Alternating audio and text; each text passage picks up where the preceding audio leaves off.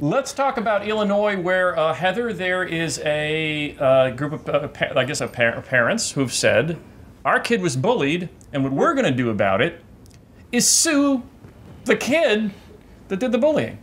Yes, the accused bully is named in the suit as well as the accused bully's parents.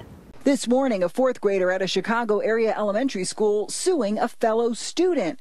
Parents Matthew and DeVary Delcourt filing the suit on their son's behalf, claiming a fellow fourth grader, identified only as CA, violently bullied their son Jaquin for the entire school year. It was quite a, an incident for us to go through this in our house and have our son waking up at night screaming about not wanting to go to school and crying and you know feeling that he wasn't safe at school. The lawsuit, which also names the accused student's parents, the school district, and the principal, says CA allegedly bullied Jaquin on a weekly basis, hitting, punching, choking, elbowing, kicking, pushing, spitting, threatening to kill him, and tripping him on the stairs, causing permanent and serious injury. So, uh, Professor McDermott, I'm, I'm on both sides of this issue in, in one sense, in that I, I'm on the record saying that I, I hate for judges to be taking larger and larger roles in everything regarding education policy. That seems to be happening everywhere you look, no matter which side you're on, okay, about this stuff. But on the other hand, you know, I, I go crazy with this bullying stuff, and I hear these stories and the fact that the school is not doing apparently enough,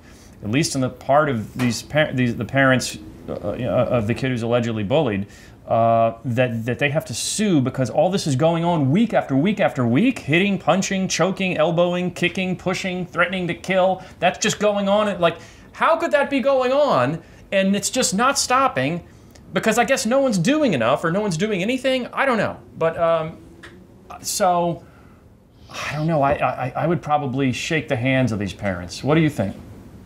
Well, you know, uh, abuse in school can take a lot of different forms. And unfortunately, in this particular story, we don't have the whole context.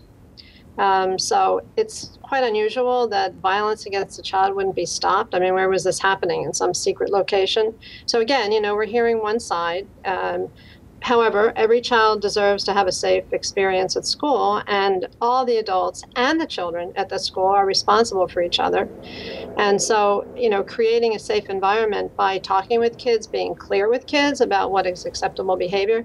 But it's possible that, you know, there's a little bit of mental illness. I mean, we see all the school shootings, et cetera, from kids who are either on drugs, you know, to calm down their behavior, and then they have bad reactions to them. So as I said, it's it's a contextual issue as well. Um, but certainly you feel sorry for both boys. Yeah. Because if one little boy is out of control, that's awful. Right, and, if we didn't other- we didn't get to an original source on this, but I do want to at least show what the ABC News print piece said, which is here because this is instructive, I think, in the case, which is that it says it's not the family's first attempt to address the alleged bullying.